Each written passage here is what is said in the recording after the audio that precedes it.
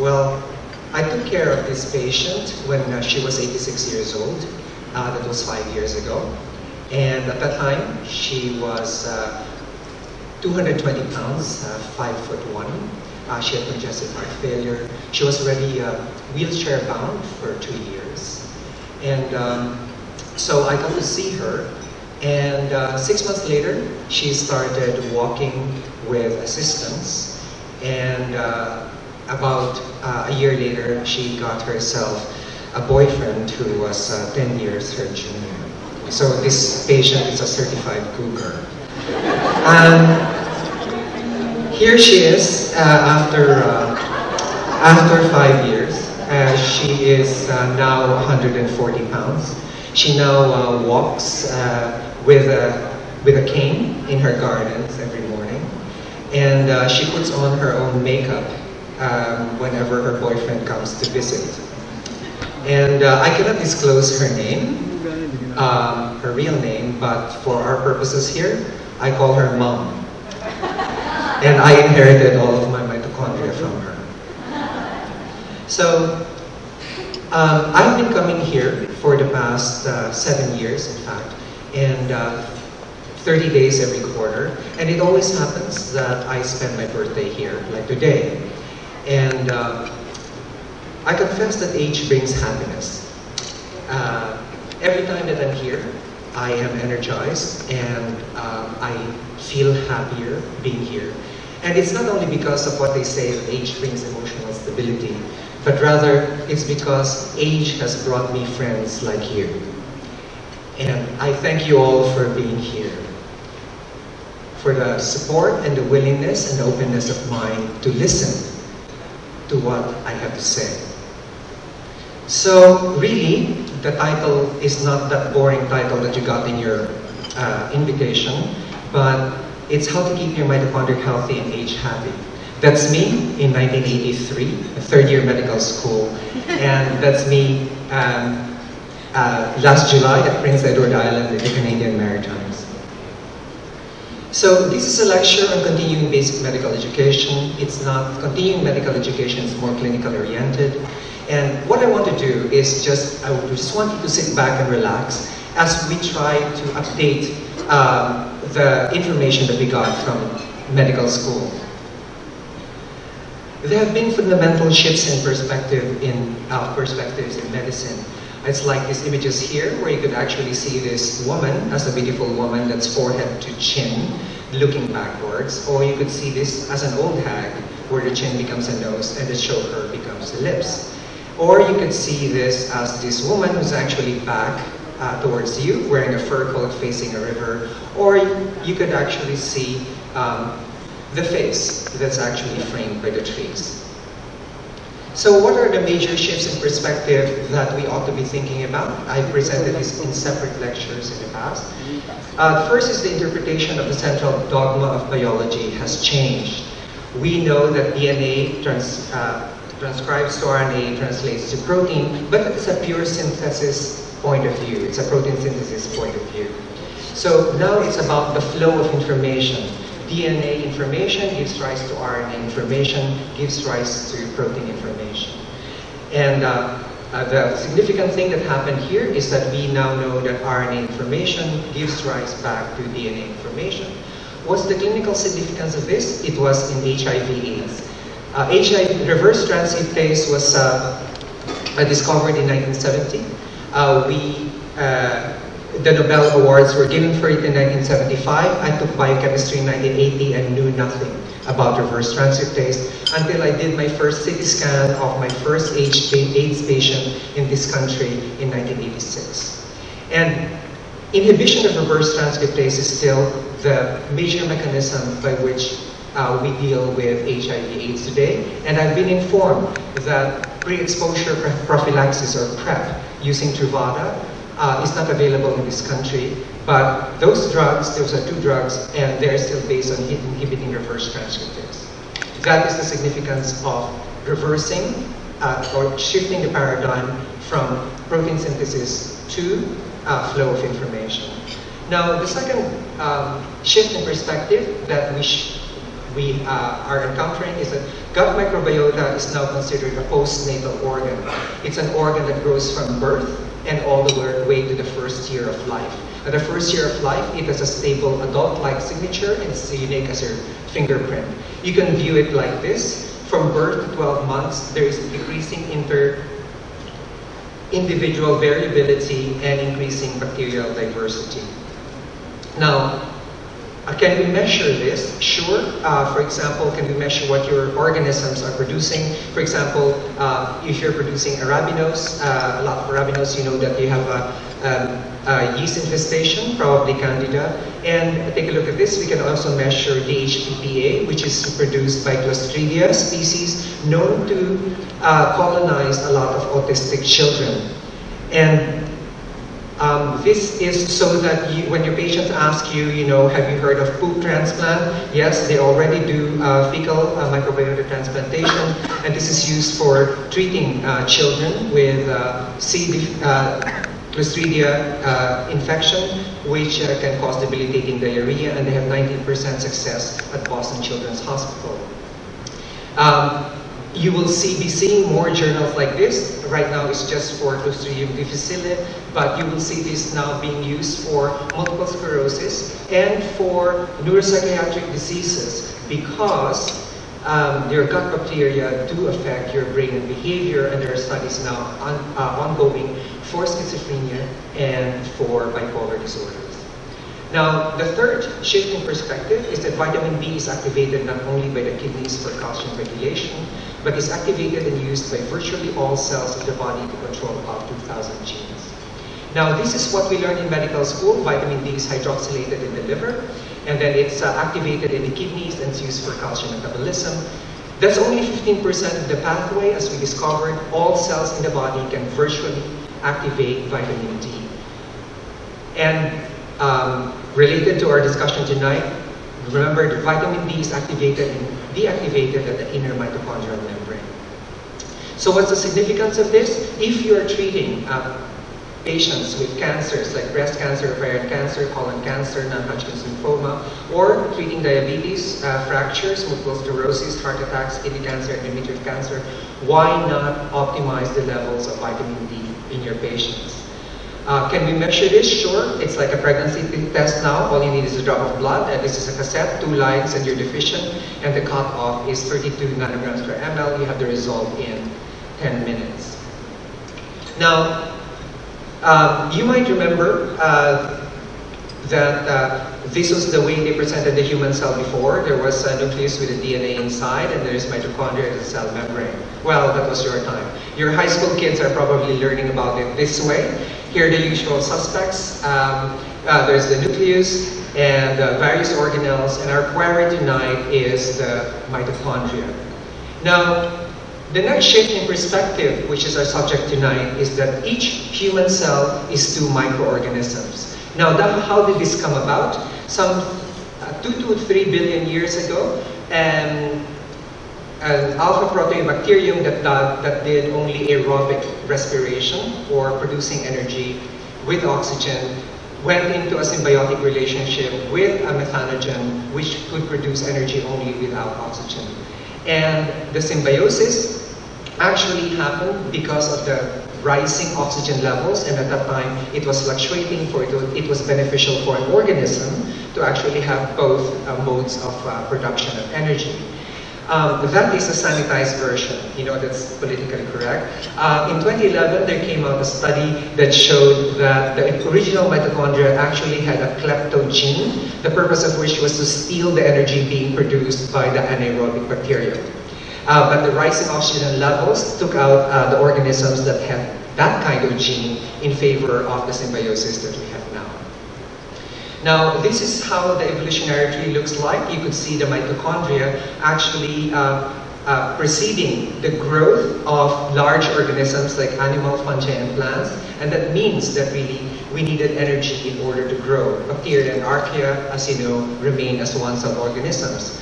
If uh, we, our human cells, are considered as two organisms. Plants have three organisms because after acquiring the mitochondria, they acquire the, uh, the blue-green algae, the uh, cyanobacteria, and then they became the, the chloroplast of plants.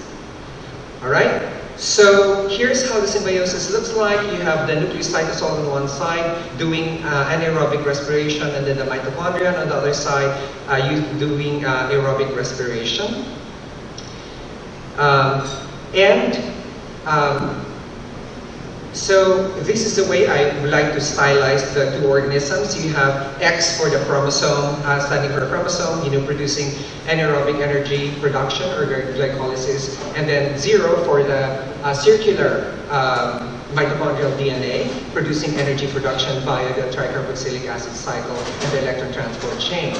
Now, fatty acids is there because, as I was telling people a, few moments ago, uh, mitochondria are the only organelles in your body that can actually burn out your fatty acids into energy. There's nothing else. Now, they, these two communicate, and the end product of uh, aerobic glycolysis is, of course, pyruvate, and then there's, uh, under certain, certain conditions, uh, lactate and alanine. But you're saying, Dr. Ted, I really don't need to know pyruvate, lactate, and alanine. But you do. The reason is that there's already a pyruvate uh, supplement and there are also beta-alanine supplements. And the neurologists here, I think, uh, have put in their two cents on whether or not uh, lactate is the preferred fuel of human brain metabolism in vivo. That's a big controversy. But in 2008, it's already been proven that lactate is the preferred energy of the brain in aerobic exercise. So when runners here say, I'm gonna go out and think and clear my head, you're actually pro producing lactate in your muscles, it goes to your brain, and you're able to think more properly because you're providing the right fuel for it. But um, really my interest in, um, in uh, uh, anaerobic uh, respiration um, has something to do with Ben's interest in wine. As we all know that a byproduct of um, anaerobic respiration is that which is placed in the finest libations in the world, ethanol. Um, remember this naughty little um, mnemonic that we used to have in medical school? If you remember what it stands for, recite with me. There's a citrate, isocitrate, ketoglutarate, succinyl coenzyme succinate, fumarate, malate, and oxaloacetate. Well, you say, you don't really need to know that, right? I think you do. You see, um, as I said earlier, there's already a pyruvate supplement, right? The coenzyme A of acetyl coenzyme A and succinyl coenzyme A actually come from pantothenic acid or vitamin B5. If you recall the shampoo, um, Pantene, that's actually pantothenic acid and it is actually formulated by a Filipino. There's a citrate uh, supplement. There's also an alpha ketoglutarate supplement. There's a succinic acid supplement. There's a fumaric acid supplement. There's a malic acid supplement. And there's an oxaloacetate supplement. So your patient comes to you and says, Doctor, um, I, I am on oxaloacetate supplement. Is it any good? At least you know where it is in the Krebs cycle. All right. So can we measure these metabolites of the anaerobic and anaerobic organism within us? Yes, absolutely. For X, for the, for the anaerobic uh, organism, here you can see lactic acid and pyruvic acid, and for energy metabolism, of course, these are the metabolites of the Krebs cycle. Did we forget anything? Yes, we did. We forgot about the ketone body, beta-hydroxybutyrate, and there is already a supplement for that too. It's used by athletes on the ketogenic diet and by cancer patients on the ketogenic diet. now, this is um, uh, the general pathway. The nucleus cytosol uh, organism uses glycolysis, and of course, the mitochondrion generates energy using the Krebs cycle and the electron transport chain. But that is not the main point of this slide. The point of this is that from pyruvate to acetyl coenzyme A, you need thiamine pyrophosphate or vitamin B1. Now, flavin adenine dinucleotide sounds like riboflavin, which is vitamin B2. Nicotinamide adenine dinucleotide is nicotinamide or vitamin B3. And as I said, uh, the coenzyme A of acetyl coenzyme A is vitamin B5. And if you take a look at the major pathways uh, that convert uh, macronutrients into energy, they all need the B vitamins, the entire spectrum of them. You could give them as B100 or singly depending upon the measured levels. And can you measure them? Oh, absolutely you can measure the levels of B vitamins nowadays. Now, looking at the, um, there are educators here, and looking at the model now of two organisms, we see that when we went to medical school, we only learned half of the uh, foundation foundational paradigm of Western medical science. Um, we learned about the anatomical perspective of biology and medicine.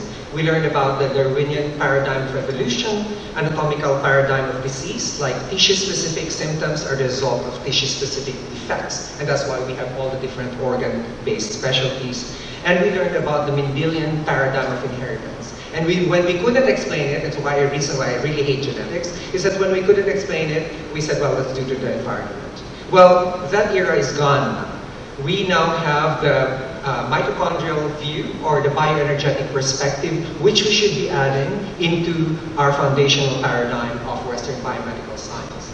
The bioenergetic paradigm of evolution has always bothered me because when I was working on consciousness 20, some 20 plus years ago, I have always wondered why we do not follow the second law of thermodynamics, that we are uh, we are headed for entropic doom. I mean, we should be decaying, right? But we actually take in energy and we continually build complexity. And the mitochondrial organism within us actually explains that. And then we have the bio, we can now include the bioenergetic paradigm of disease. Uh, systemic energy deficiency can result in tissue-specific symptoms. And now we actually are exposed to non-Mendelian uh, forms of inheritance, which is actually a lot more fun because you're simply counting the number of mutant bacteria. Um, so the corollary to having the human cell, viewing the human cell as two organisms, is that mito mitochondrial bioenergetics provides a unifying pathophysiological and genetic mechanism for neuropsychiatric diseases such as Alzheimer's and Parkinson's, metabolic diseases such as diabetes and obesity, and autoimmune diseases, aging, and cancer. Now, this model is not mine, and um, I know this slide is very busy, but just follow me the nuclear DNA variations, mitochondrial DNA variations, and environmental factors all contribute to uh, oxidative phosphorylation and can induce mitochondrial damage, which produces uh, progressive bioenergetic decline, producing degenerative diseases, aging, metabolic disease, cancer, and immunologic disease. Now, this model is not mine. It's by Dr. Douglas Wallace, who's been doing this for 31 years. And this paper is actually included in your handout tonight for you to actually read in detail. Now, what is a confession without the high priests? Um, this is uh, Dr. Douglas Wallace. He was the one who identified chloramphenicol resistance as being due to mitochondrial DNA resistance. Um, he um, described MERRF, or myoclonic epilepsy with ragged, ragged red fibers. He uh, and his group identified that human mitochondrial DNA is inherited exclusively from the mother. That's why I started this um, uh, lecture with my mom. And he reconstructed the origin of the ancient migration patterns of women, for which he's known for. But what's more interesting is that he's won the Passano Award, which is like predictor for the Oscars. He's going to win the Nobel pretty soon. But he's already won the Gruber Prize in Genetics, which is the equivalent of the Nobel in genetics. Um, and when he was applying for his position at CHOP, uh, Children's Hospital Philadelphia, there's a famous article that said it's like Einstein, you know, knocking to work on your um, physics laboratory. So the videos here are taken from two of his lectures, one last year on April 2 uh, at NIH, and the other at the Luminaries of Medicine lecture is 2015 at the USC School of of Medicine in Greenville. But the real, real reason why I love this guy is that he could write an article with this title, get it accepted at a peer-reviewed journal because of his gravitas. And um, what are the problems that we are concerned about? Well, of course, there are all the neuropsychiatric diseases. Being in pediatrics, and I went to CHOP for a specific reason to look at pediatric diseases, but one of the most obvious is autism, which is now assumed to be 1 in 88 boys being affected. Or Alzheimer's, or Parkinson's, or migraine, or depression, schizophrenia, or obsessive compulsive disorders. Or in the heart and muscle, cardiomyopathy, cardiovascular disease, myalgia, chronic fatigue syndrome, or the visceral diseases, renal, hepatic, and gastrointestinal diseases. Or metabolic diseases, type 2 diabetes, obesity, hypertension, inflammatory diseases, type 1 diabetes, multiple sclerosis, lupus, cancer, and aging. All of these are, in fact, the major concerns we have, and yet they are the ones that we seem to be least able to address. The next uh, guide I'm introducing is known in blogs as the man who shrinks brain tumors. He's uh, Dr. Thomas Tafey. He published a book, Cancer is a Metabolic Disease, on the origin, management, and prevention of cancer. And he has information showing that cancer can be best defined as a mitochondrial metabolic disease rather than as a genetic disease. And he's involved in the development of new non-toxic cancer therapies, including the ketogenic diet. Um, the video here is taken from his 20, February 2015 lecture, Cancer and Metabolic Disease with Metabolic Solutions. So the provocative question, is cancer a nuclear genetic disease or a metabolic, mitochondrial metabolic disease? Very important because the answer to this question will change the way we uh, uh, study the disease and the way we uh, try to manage uh, the disease. So what in, in today, the academic and pharmaceutical industries view cancer as a genetic disease. And this is what we call the dogma. This is a belief, uh, an unshakable belief is a dogma. And uh, this paper, Hallmarks of Cancer, the Next Generation by uh, Hanahan and Weinberg, is one of the most highly cited from their previous and their current papers. This is cited many, many times because this sets out the dogma as cancer is a genetic disease. And when I say it's a dogma, it, it, because I teach biology at Boston College, and all the books on biochemistry, cell biology, biology, they talk about cancer as a genetic disease involved with uh, oncogenes and tumor suppressor genes and this kind of stuff. It's in all the textbooks. Our young people are indoctrinated into thinking and studying cancer as a genetic disease. It's the fundamental basis for the pharmaceutical and academic industries and their grants and their approaches and things like this. Is that, is that right, though? Is that right, though? So, no two ways about it, you guys need to plow through some basics and consequences. Uh, quick basics, mitochondria have their own DNA called mitochondrial DNA or mtDNA. They are circular, they're naked. Each mitochondria contains about 1 to 15 copies of mitochondrial DNA, an average of 5. They mutate very rapidly, they're mutating inside us right now. Each human cell contains an average about 500 mitochondria, but the number depends on the energy needs of the type of tissue. I was surprised that someone said, I thought each cell only had one mitochondrion. But uh, the liver cells, for example, can have up to one, one to 2,000 mitochondria per hepatic cell. All mitochondria are maternally derived. Mitochondria can commit suicide inside the cell in a process called mitophagy, and mitochondria can also signal the entire cell to commit suicide, uh, process called apoptosis. There are approximately 100 quadrillion mitochondria in the human body versus the gut, which is 100 trillion, and the total number of cells in the human body is about 37 billion. We are outnumbered. And I, I'm not making these numbers up, there are really papers that actually show the estimated number of cells in the human body. Now, this is a mitochondrion, as you might remember. This, it has a. Uh, I'm going to um, uh, discuss the outer membrane, the inner membrane, and the intermembrane space that uh, they enclose. And then, of course, the matrix inside. Then there's a circular DNA molecule right there. There's ATP synthase, uh, which uh, uh, is a nanomachine that looks like this. It turns around like a gear. Um, and then there's the electron transport chain. Um, I know you guys have forgotten about the electron transport chain, so let's make it a fun review. Here's the mitochondrial electron transport chain, not too fun, is it? Uh, there are only five complexes, one to five, and let's make it fun. NADH actually donates electrons to the complex one, and uh, uh, succinate donates electrons to complex two. And um, the electrons are shuttled by coenzyme Q to complex 3, and from uh, complex 3, uh, cytochrome C actually brings the electrons to uh, complex 4, where oxygen is the final uh, electron donor to produce water, and the proton gradient that's generated is actually used to produce ATP. I'm not making up the supplements, they're all available. Now, for those of you who give statins, you should know by now that um, you inhibit the biosynthesis of coenzyme Q.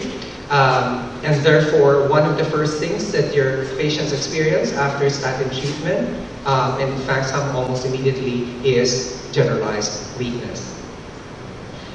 Now, this is the video that took the mitochondrial world by the storm. It's very highly viewed. I presented it last time. And let's take a look at the mitochondria inside the cell. Well, here it is. It does look like a bacterium. It pulls itself along the microtubules of the cell.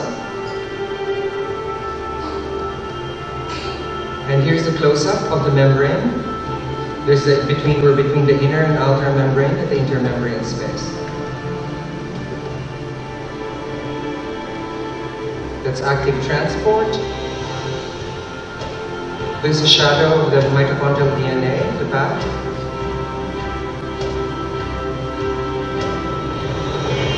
And those are the farms of your ATP synthase that produce ATP.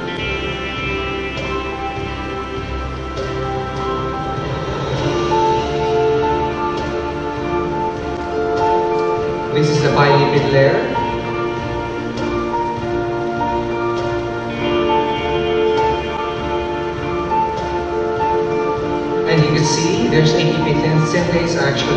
Turning around.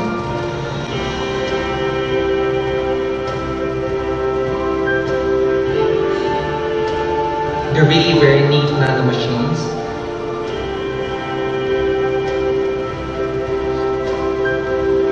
And there's a an anti-porter, one in, one out. And these are swimming inside their bodies right now, and yes,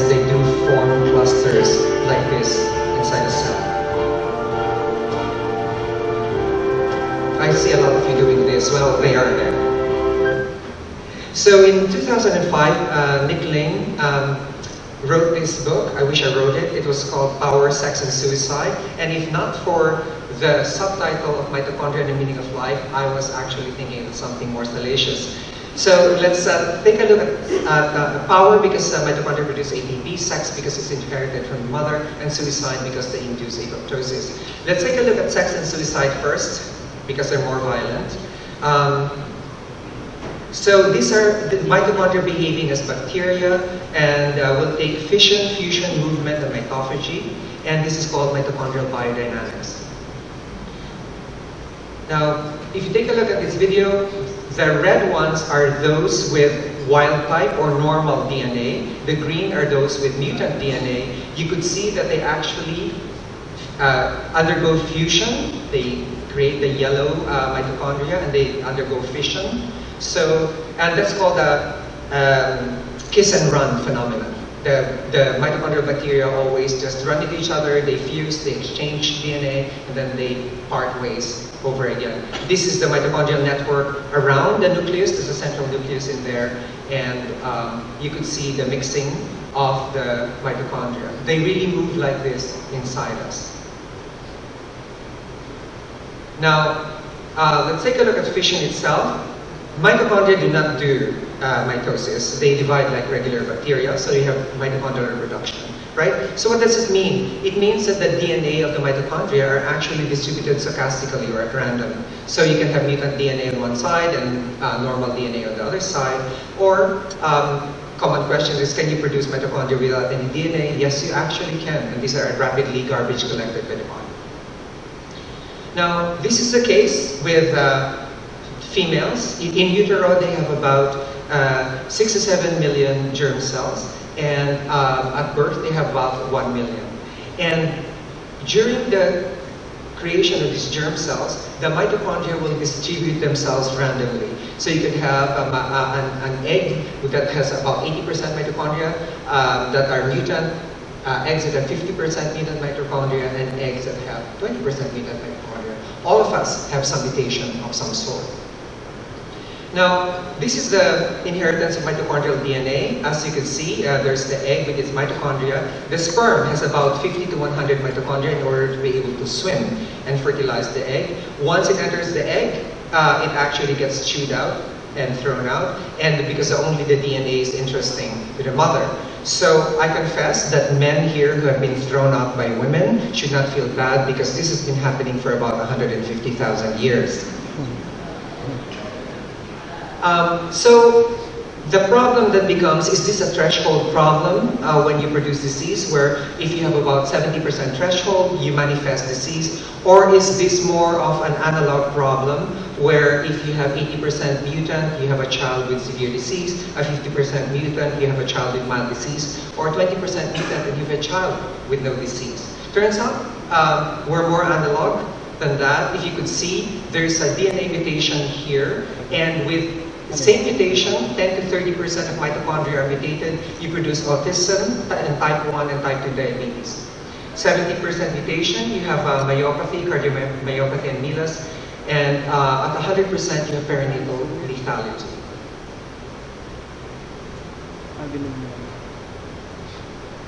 So what's the clinical significance of this? Uh, there are people here who do in vitro fertilization, and the significance is a three-person IVF. If you have a mother with uh, a lot of mutant mitochondria, then you just get the maternal nuclear genome from her, get the father's sperm, and then get the uh, healthy donor for the mitochondria, and you put them together, and you have a three-person in vitro fertilization. Now, fusion. Now, just bear with me here because there are two um, membranes that have to fuse. So the outer membrane, of course, has to fuse and so does the inner membrane that has to fuse. The inner membrane uses a protein called OPA1 for fusion. And OPA1, the clue is in the name. OPA1 stands for optic atrophy 1. So if you are accumulating mutations in optic atrophy 1, you, get, your, have failure of fusion of the inner mitochondrial membrane, you will get optic atrophy.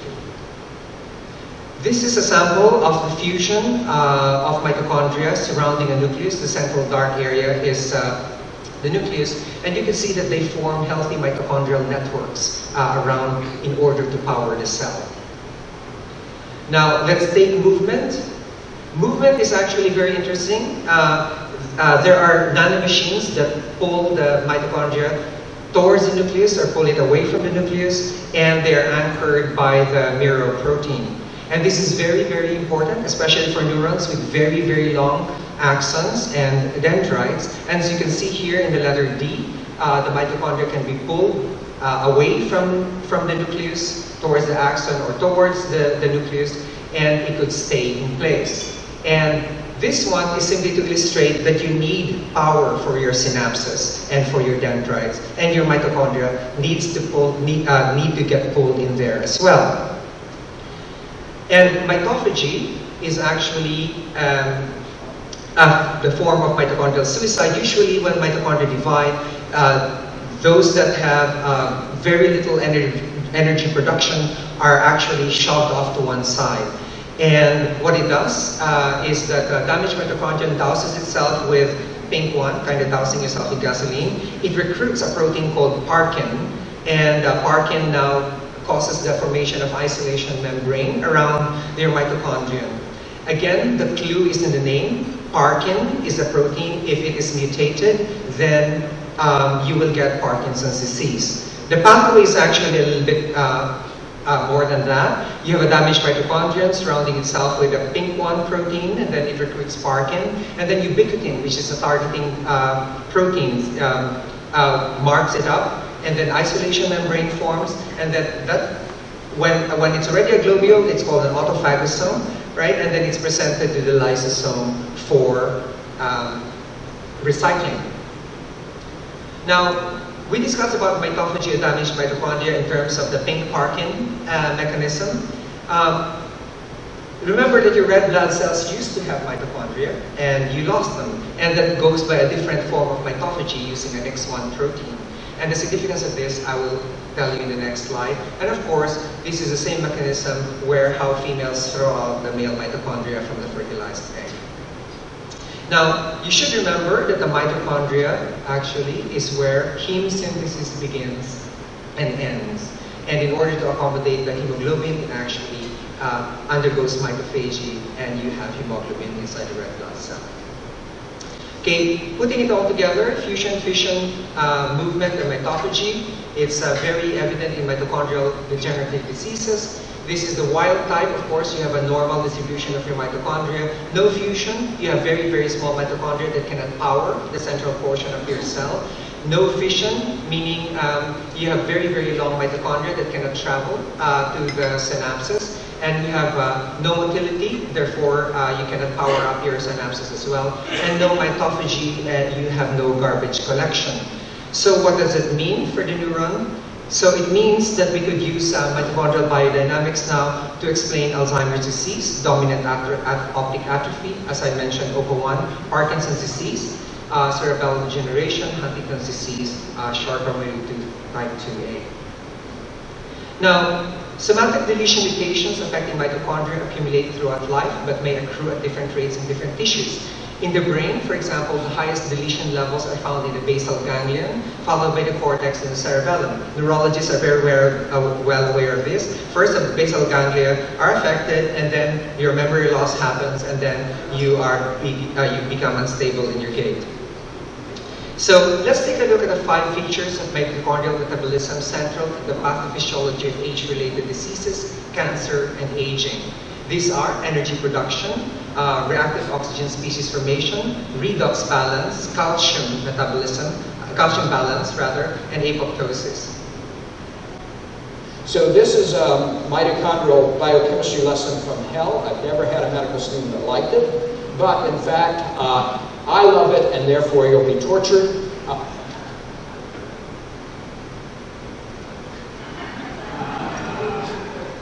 all right, this is a mitochondrion, and I would like to touch on five areas. One is the electron transport chain. The second is the production of the superoxide radical. The third is the redox balance uh, provided mostly by your thiols, especially glutathione, and then your uh, calcium balance, and then of course uh, apoptosis, we now know that it's cytochrome C from the um, electron transport chain that actually signals the death knell for apoptosis. It goes out through a pore called the membrane, uh, mitochondrial membrane uh, permeability transition pore or. So let's take a look at energy, and this is going to be fun. We just to bring you back into orientation, this occurred um, 2 to 3 billion years ago. This is where uh, it is in the evolutionary tree. But right now I'd like to discuss LUCA, or the last universal common ancestor. Now, very important, this is a very important piece of news last year, um, uh, in August of 2014. Uh, this is even, I hope you read it, because this is even picked up by non-science journals. I actually got this blog from Investors Business Times, just to show you how important the finding was. And it showed that LUCA, or the last universal common ancestor, actually depends on the natural proton gradient in order to generate its energy. Now, proton gradients that power respiration are as universal as the genetic code itself, giving an insight into the origin of life and the singular origin of complexity. So if you imagine LUCA having this proton gradient, how did, how did it evolve? It actually evolved very little. This is the uh, inner mitochondrial membrane with the electron transport chain, as you can see. And you can see there, complex 1, complex 3, and complex 4 are nothing but proton pumps. So we just really activated the whole thing, you know, made it, uh, uh, activated so we could have a proton gradient anytime we need it. Why?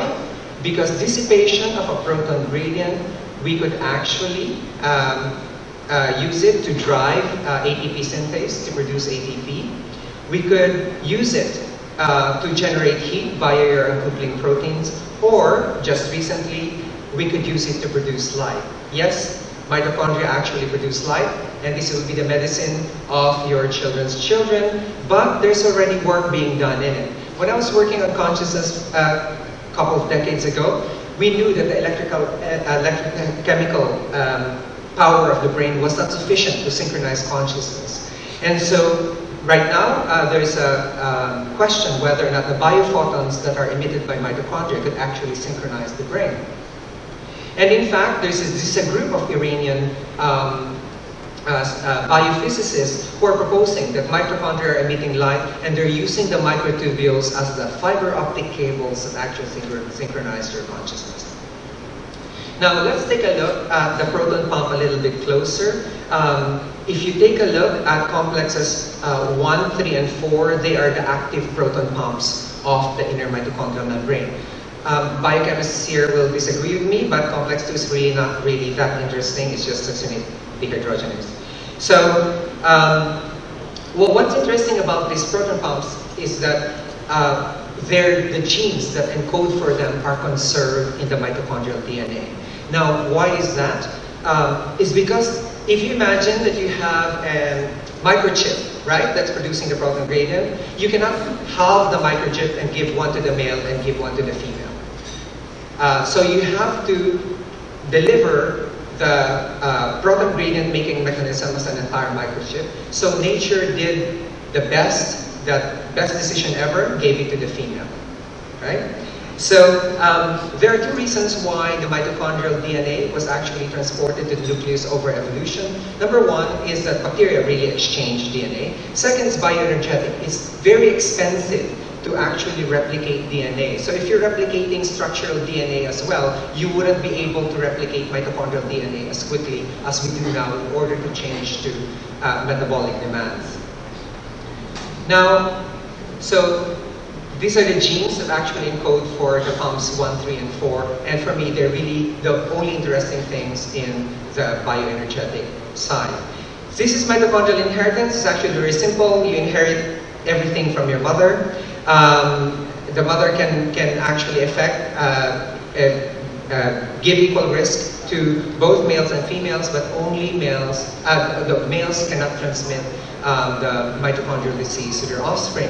It was very interesting. I saw a poster last July. I was in a mitochondria conference, and um, it's now known that females are actually uh, producing, um, uh, introducing mutations in the general population, human females, uh, that are either neutral or slightly advantageous to females in the population. So in classic germ warfare, uh, males are actually producing mitochondrial suppressor proteins to actually counteract these advantages that are being given by the females.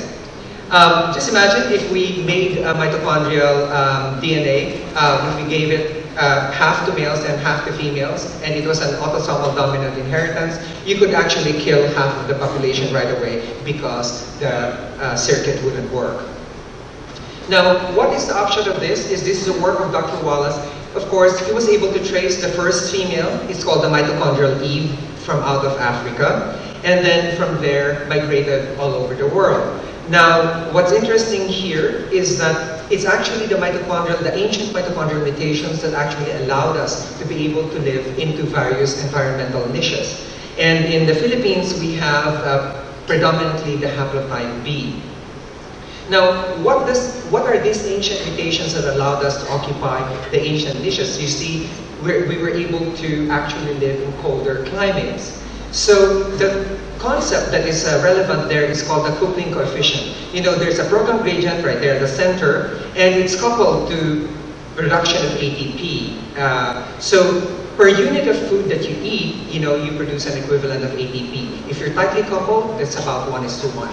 But if you are uncoupled, then you're you are churning some of that proton gradient into heat. So for every unit of food that you eat, you eat, you um, produce little ATP and you generate heat, and that allows you actually to live in colder environments. So people in colder environments eat higher calorie, uh, more calorie dense foods like fat, for example, because they need to eat a lot more of the, of the calories because they're converting a lot of the stuff to heat. Now, so that's the that's a way uh, that to look at this map. So uh, around uh, Africa or L0, you probably have a coupling coefficient, a one-to-one coupling coefficient, and as you get higher, the coupling coefficient it, it, becomes more loosely coupled. And that's the significance of the haplotypes, the different letters here, that uh, is actually a measure of your coupling coefficient. But that's a boring way of looking at it. The more uh, interesting way of looking at it is actually looking at endurance runners okay? Most endurance runners are actually coming from Kenya, and their um, mitochondrial haplotype is either L0, L1, L2, or L3. Uh, they have very, very, very uh, skinny legs, you know. They eat food and it automatically gets converted to energy.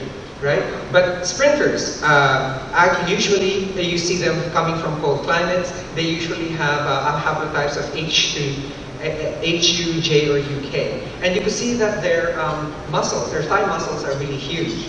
Uh, and the reason for that is that when you're running really, really fast as sprinting, you know, you can't provide oxygen fast enough to your mitochondria. So it has to rely on the glycolysis of the, of the muscle cells, and therefore the more glucose you have in there, the more you could provide energy and the more you could win your sprint.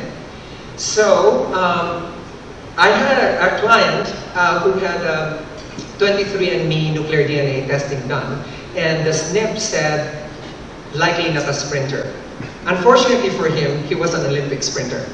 Uh, so I had a mitochondrial um, a haplotype done, and he was haplotype J, and he noticed that his best races were actually won in courses that were uh, uh, actually cold, and he actually lost a lot of races when it was around the equatorial region. And that's the effect of your bioenergetics. It can trump your nuclear DNA SNP. Now, many of you, or all of you here, are brilliant enough to hear what I've said about uncoupling. If I can eat more and just produce heat, then maybe I could use that as a weight loss mechanism, right? Uh, right here, you can use uncoupling proteins in order to dissipate the proton gradient and produce more heat. Can you do that? Yeah, absolutely. Take a look at this. You can actually uh, inhibit the proton gradient. Complex 1 is inhibited by, uh, for example, Amytal and demerol. Uh, complex uh, 2 is inhibited, uh, complex 3 is inhibited by um, um, uh, antimycin, and complex 4 is inhibited by cyanide and carbon monoxide.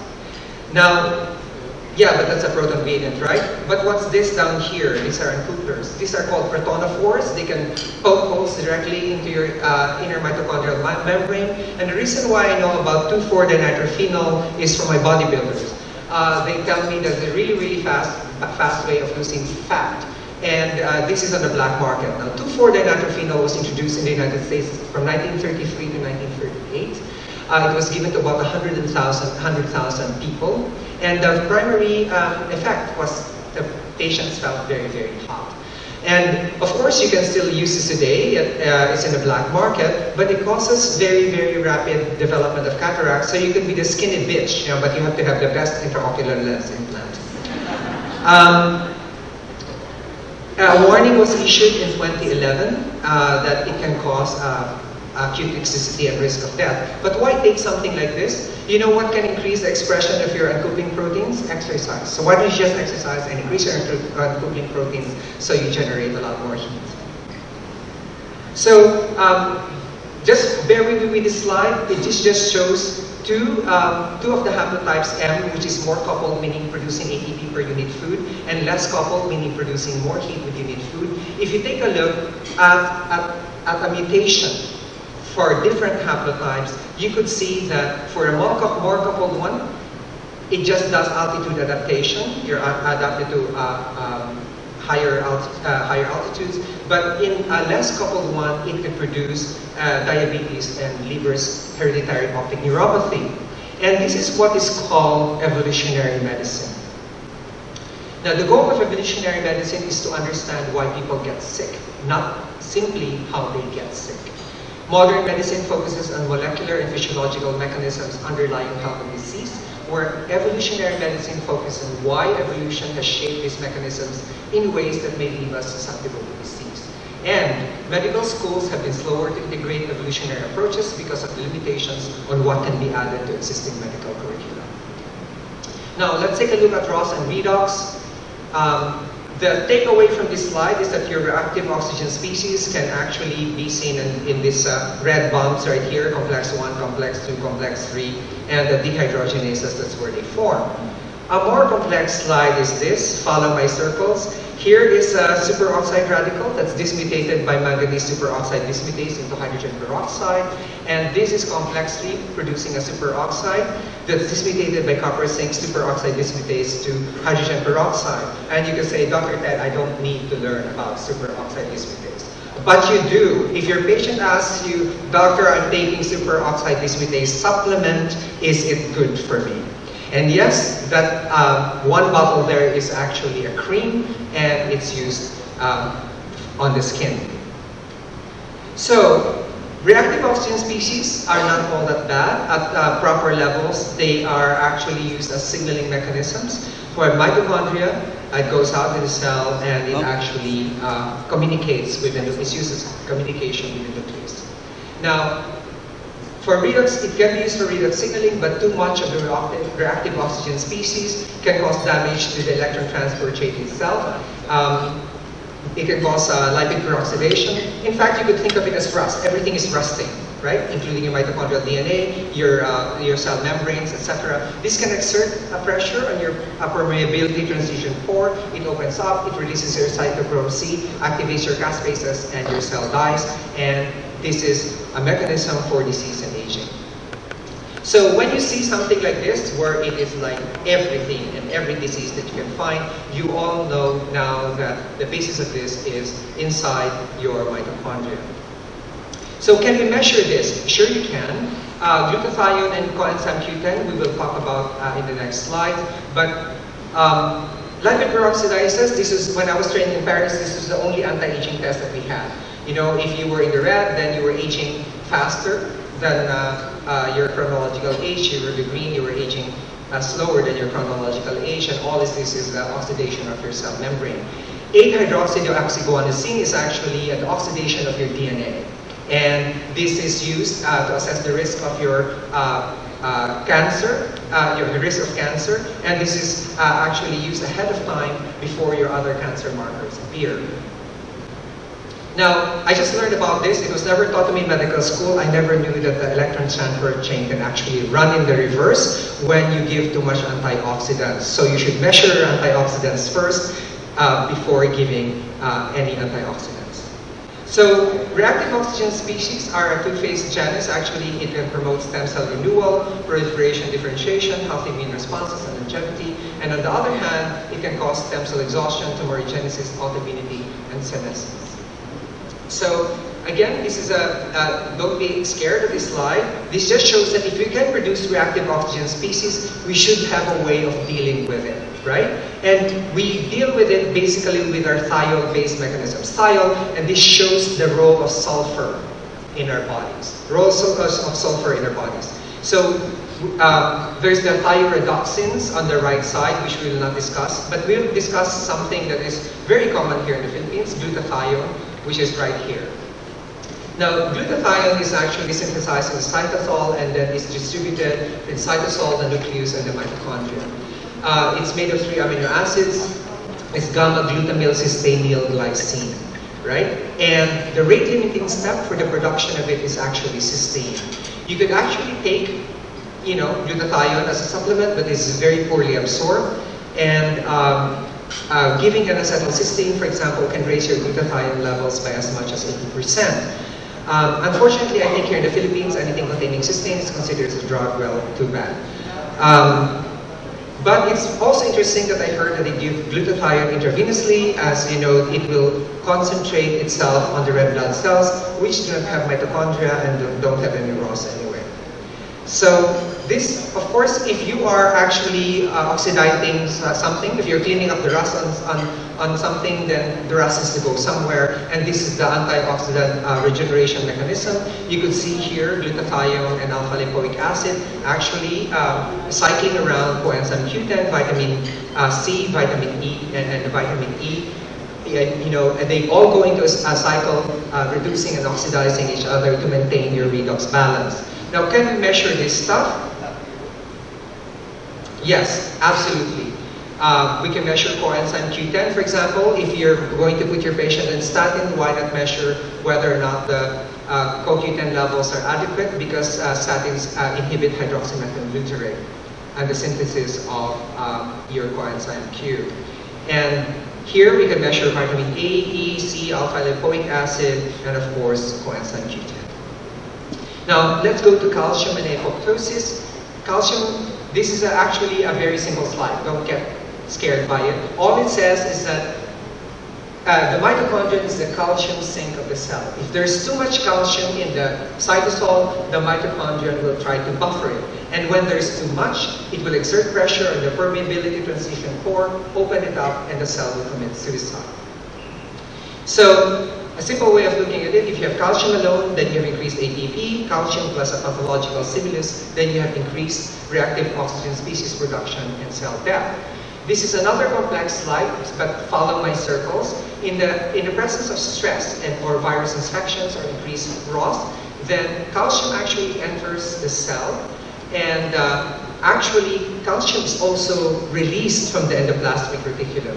And the cell tries to, the mitochondrion tries to buffer it if, if it becomes too much it actually opens the permeability transition pore, releases a cytochrome C, and it causes apoptosis. This should be a simple problem for the cardiologists that are in here because this is a mechanism for the, the pesky ischemia reperfusion problem that you always encounter. Uh, the mitochondria actually uh, tries to buffer the calcium that rapidly enters the cell. The mitochondria increases uh, uh ROS production. It opens the uh, permeability transition pore and you have apoptosis. That's why I, melatonin acts on this. That's why I said melatonin is an overlooked antioxidant in these cases. Now, ischemia reperfusion problem, this actually happens very acutely. But what if you stretch the ischemia reperfusion problem over years? That's called aging. It's the same mechanism. Okay? So you, you have more and more and more apoptosis from the same mechanisms as uh, calcium regulation and, um, and uh, ROS production, and you actually kill more and more cells. Uh, it is said that the tipping point is age 45, I'm way past that. Um, and then you reach a functional threshold where actually there's also bioenergetic decline. And this is the mitochondrial theory of aging. The brain, heart, kidneys, muscles, endocrine organs are first to go in chronic diseases and aging because they have a high energy demand but a low energy reserve.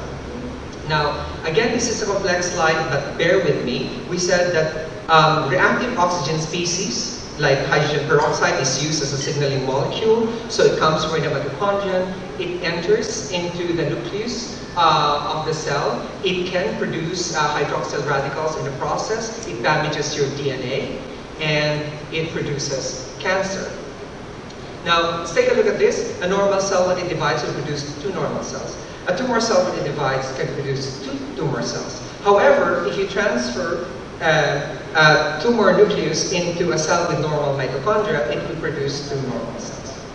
If you um, transfer a tumor cytoplasm with a normal mitochondria and a normal nucleus, you will actually produce uh, tumor cells. Now, this is another complex slide, uh, but the, follow my circles. This is the mitochondrion, which is affected by viruses, age, um, rare mutations, inflammation, hypoxia, etc. And then it sends a signal to the nucleus. Um, and then I shall be explaining the Warburg effect later. Since your cancer cells have defective mitochondria, they cannot do uh, aerobic uh, energy production. And so what you do is you actually um, decrease um, the glucose uh, intake of the cancer patient because you know that their normal cells can derive energy from fatty acids. So you drive up their fatty acids in their diet. And this model can actually give you the cancer hallmarks, which is self-sufficiency in growth, and so on and so forth, which are the hallmarks of cancer. First of all, we have this oncogenic paradox, which has puzzled everyone from the beginning, the, the, the great minds and the thinkers. How is it possible that we can have so many provocative agents in the environment that we know cause cancer, cause the disease through a common mechanism. All right? So, for example, I mean, we, we have um, carcinogens, you know, we have radiation, hypoxia, inflammation, rare inherited mutations. People think cancer must be a genetic disease because I got I inherited a gene from my mother or my father and gave me cancer. That gene product targets this, this little organelle, the mitochondria, and makes it inefficient. So that is the primary cause of the damage to this organelle. All of these different provocative agents will do that. Viruses, people know, hepatitis C, papillomaviruses, they cause cancer. They cause cancer because they disrupt the energy metabolism of that organelle. And age, we get older. Older people are more prone to cancer than younger people because that organelle gets damaged with age. Now, what happens is when that organelle is damaged, it produces these reactive oxygen species, are toxic byproducts of energy metabolism. And these ROS are both carcinogenic and mutagenic. They will damage the DNA in the nucleus. And they will further damage the energy metabolism in the, in the mitochondria. So these little ROS are produced from this plethora of disparate, some people say, well, I don't know how I got cancer, I did this, I did that. You know, it could be from any one of these things damaging that, producing these ROS. The ROS then damage the DNA. The, so all the mutations and broken chromosomes and all these things that we see and that we're studying and we're spending billions of dollars on are downstream epiphenomena of the damage to the respiration. So his main point there is that the nuclear damage is actually secondary to mitochondrial damage. Now, just a brief review before I introduce uh, the next video is that um, the uh, glycolysis, of course, occurs in the nucleocytosol uh, organism, and uh, as I said, you know, the fatty acids uh, can actually be used by normal cells as fuel. They actually have a, a carrier um, in the uh, inner and outer mitochondrial membrane. It's the uh, carnitine shuttle. It uh, looks like this, and that's how they shuttle fatty acids into and out of the cell. And of course, we have a supplement for that as well. Um, so when, when you have cancer, one of the things you do is to place the patient on a ketogenic diet, meaning you reduce uh, glucose to about 50 to 100 grams a day so that it starves the cancer cells. You boost up the fatty acids so that the normal cells that can actually use these fatty acids actually are maintained in their energy. Well, we, we, we, we designed a, a, a, protocol. Now, we first had to characterize, yes, she has GBM, patholo pathological report. Now, here's the big tumor uh, in the brain. It's a multicentric glioblastoma. These are the worst of the worst kind. I mean, these tumors are really nasty. And, uh, you know, we, we, we, we got this, and then as soon as she came out of surgery, uh, we, uh, she went on a ketogenic diet, calorie restricted, therapeutic fast, water only, all this kind of stuff. We were able to bring her blood sugars down, her ketones up a little bit, and then we had an MRI several months after all this. Now, she was getting radiation, and she was getting chemo. So not, not, not temozolomide, she was off the steroids, she was getting radiation. But we have here a tumor several uh, months later, and we call this radiological resolution. You don't see any tumor in her brain anymore. And everybody was like shocked. Not that it doesn't happen. It happens very, very rarely. And maybe, maybe she's one of those rare cases. But we had several more like this over periods of months, and it looked like everything was good. So she, she was swimming in the Mediterranean. She felt good. Her quality of life was excellent. She gets off the diet, and then about two or three months later, the, the tumor comes back, and rather than going back on the metabolic therapy, she decides to go on Avastin, which is a big blockbuster drug in the pharmaceutical, companies. I said, don't use that. I, I've looked into Avastin. It's the worst of the worst drug. Never use it. The, the FDA pulled it off the market for breast cancer, but they haven't pulled it off for, for brain. Uh, the, the, the tumor came back and she died. I had a similar case here in the Philippines. Uh, my first case for uh, treatment of uh, cancer um, ketogenic diet. A patient came to me uh, with a stage 4 metastatic lung cancer in November 2013. I put her on a ketogenic, uh, the, uh, the, prognosis was until February of 2014 only. So I put her on a ketogenic diet. She didn't return to me in February 2014, so I thought she had gone. But in May of 2014, she actually came back looking very pink and robust and actually kneeling on the floor. I said, no, this is your work. Uh, she was able to join her family uh, in California for her reunion in December. And in, um, in March of this year, she stopped her ketogenic diet. I actually saw her in May uh, of this year, and I saw that uh, the uh, she was uh, again having labor breathing and stuff. And I said, "What did you do?" He said, "I I was feeling so good, I quit my ketogenic diet." So it had returned, and she died in the United States this July. Now, um, the, uh, this is the treatment is a combination of caloric restriction, uh, and we're seeing studies like this now, overnight fasting may reduce breast cancer risk in women. Of course, the ketogenic diet, where we know that ketogenic diet, even if it doesn't cure you, it, it actually increases the quality of life in patients with advanced cancer. And of course, my special interest, for which I'm uh, always called for, is the nutritional optimization of people uh, in these kinds of diets. I, we can also do this in our daily lives, uh, you know, caloric restriction. Some people, I know some people here fast or do the, the uh, two day a week fasting with 500, it's actually reduced calorie with 500 or 600 calorie uh, diet uh, two non-consecutive days. There is a ketogenic diet um, where you can actually uh, it's known that if you fast for 12 hours, you actually increase mitochondrial biogenesis. So why not just sleep and uh, eat a little bit later, you know, uh, after 12 hours, just like getting a, um, your blood sample in a 12-hour fast. You can induce mitochondrial uh, biogenesis that way. And uh, don't eat any carbs for breakfast. And of course, nutritional optimization, make sure that all of your micronutrients are um, actually balanced. So there's a reason why I started with MOM, uh, mitochondrial optimization medicine, uh, versus mitochondrial medicine or mitochondrial disease. Now, these are two different things. Mitochondrial medicine deals with heritable genetic diseases of the mitochondria from mutations in mitochondrial DNA or in mitochondrial-related DNA. It ultimately affects mitochondrial bioenergetics, which I am concerned with. Now, you can see tables like this. These are all in your handouts, and it's very uninteresting. That's why I don't like it.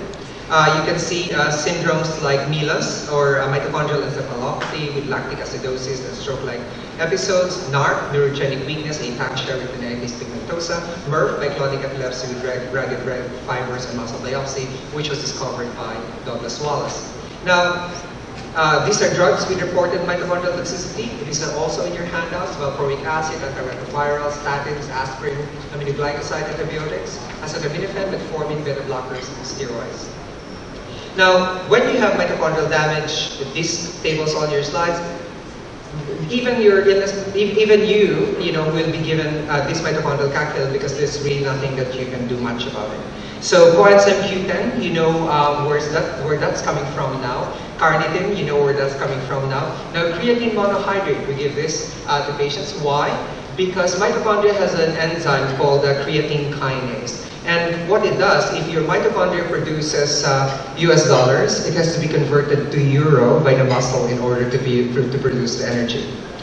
Now, um, uh, thiamine and riboflavin, we took that up in the B vitamins, alpha-lipoic acid, we mentioned that, and arginine. Um, you must remember that the, the, mitochondria are involved in, your, in the clearance of ammonia in your body. It's, it's involved in the urea cycle.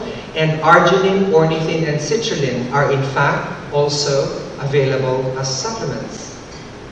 Now, uh, this is my definition of health. It's very simple. Please take it away with you. Uh, health is an optimal physiologic state characterized by the absence of disease and the maintenance of balance between anabolism and catabolism according to the cycle life of the organism. A, the absence of disease, is where mitochondrial medicine is. In fact, is where illness medicine is. And B, the balance between anabolism and catabolism is where mitochondrial optimization medicine is done.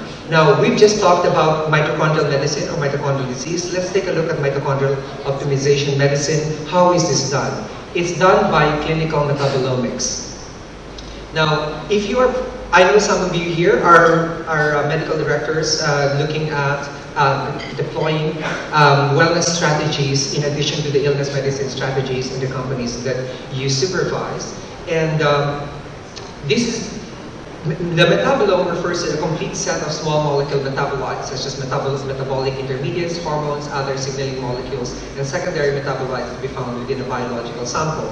Now, when I graduated medicine in 1984, that dates me, uh, genomics is all the rage. The Human uh, Genome Project, we were expecting about 100,000 genes. We only got uh, the, the, we only got 26,500. Last count last year was 19,500. Big bust. Uh, proteomics has always been there um, because of enzymatics, and now we're doing metabolomics. My personal prediction is that your children's children will be doing quantum biomics.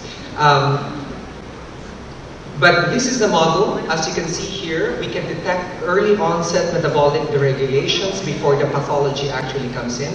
Say pathology A is diabetes, pathology B is Alzheimer's. Then you could detect actually subtle changes in the metabolome and you could institute the proper balancing mechanisms in, in form of health management. Now the three gears that we have in here driving the metabolic phenotypes, you have genetics, now we have to consider not only the nuclear DNA, but the mitochondrial DNA. Symbiotic partners, now we have to deal not only with the gut microbiota, but with the mitochondria. And the environment, the environment provides two types of signaling to our cells. One is the direct signaling, and the other one is by uh, indirectly via epigenetics. Now, this is this model is also in your handout. Now, this is uh, what I want you to come away with tonight. There's a nucleocytosol mainly involved in structure, and there's a mitochondrion that is mainly involved in energy. They communicate via uh, direct mechanisms and epigenetic mechanisms. Um, and let's take a look at direct signaling quickly, just to get it out of the way. It's not that interesting. There's their mitochondria actually communicating with their nucleus via reactive oxygen species, like hydrogen peroxide.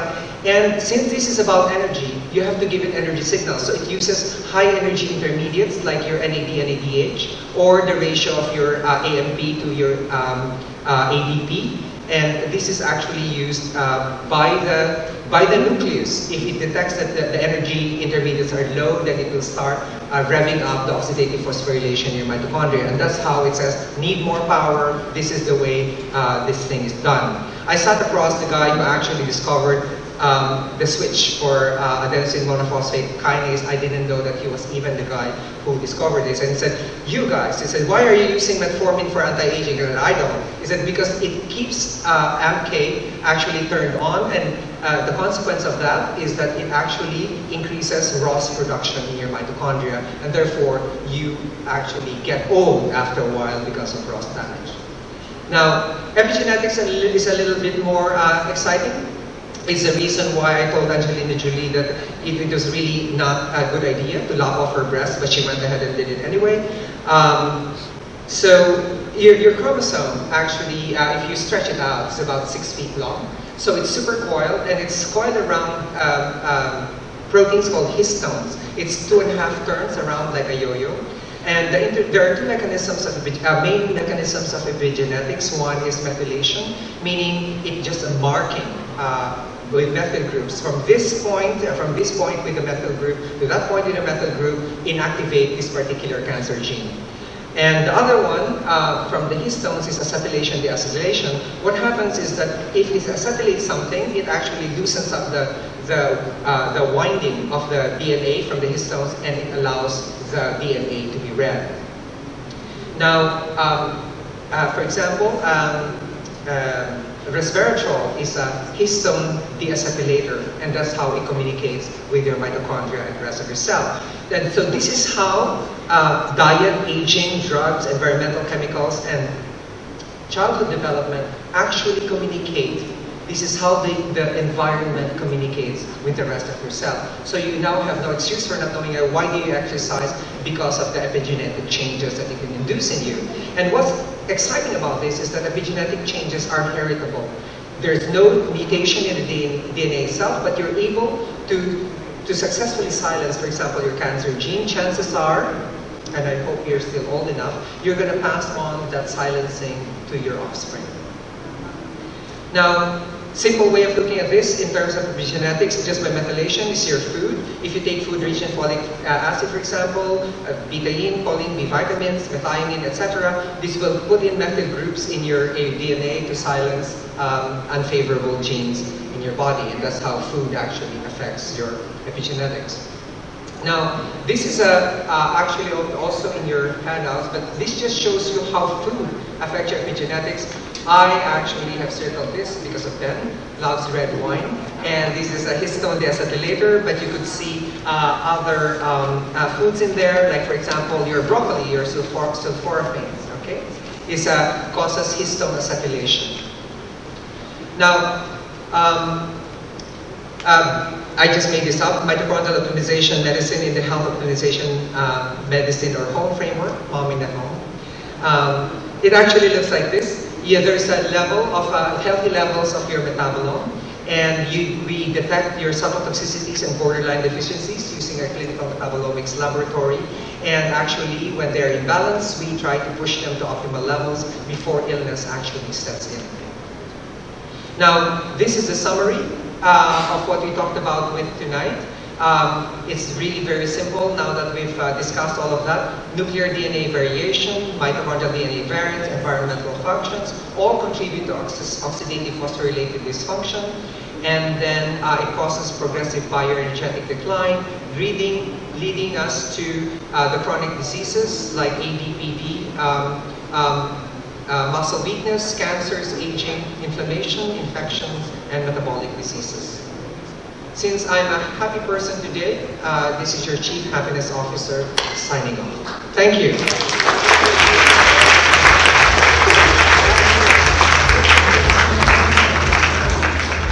So now, dear doctors, we open the floor to questions. You may approach the audience microphone if you have any questions.